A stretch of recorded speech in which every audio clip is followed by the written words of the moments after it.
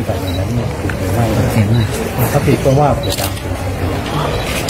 ทางเนี่ยเขาบอกว่าพร้อมพร้อมที่จะรับเพราะว่าเขาว่าเขาลดค่าเหนื่อยแล้วก็ครับผมก็ผมก็เคารพสมาชิกหนูแต่ว่าท่านขอร้องให้ทุกคน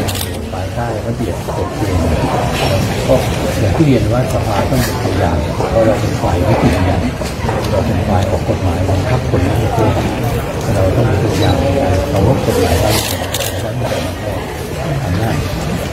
ติบัญญัติสมัยในสามอำนอธิปไตยสมาชิกต้อง